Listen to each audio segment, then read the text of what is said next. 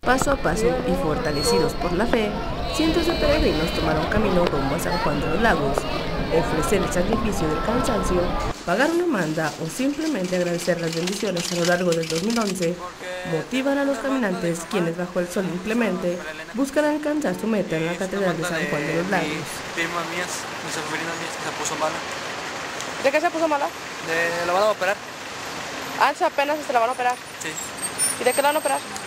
No, no sé. No, me quedé, no me dijeron.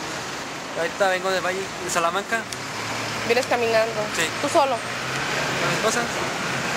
¿Qué edad tienes tú? 18. Ahorita, ahorita van a llegar todos, todos mis los que quedaron. Vienen de acá apenas, ya pasamos, ya vamos para allá. ¿Nos estás esperando? Sí. Este, ¿Qué tanto se te ha hecho de difícil esto? Nada, igual como el otro año. A un hijo de nosotros. Se fue para Estados Unidos y encomendamos a la Virgen de San Juan. Esa, es- ¿De- esa es la, es la manda que estamos pagando ahorita. ¿Porque la- se fue para allá su hijo? Sí, para Estados Unidos. Ah. ¿Y de dónde viene? De Dolores Hidalgo. ¿Con quién y quién viene? Nosotros tres, nada más. ¿Cómo se le, cómo se le ha hecho este, este camino? ¿Es difícil? ¿Es...? qué es con- No, pues difícil, no, nada más. Es pues, cansado nada más. ¿Ahorita cuánto tiempo llevan caminando? Eh, dos días. Más descansamos en la noche.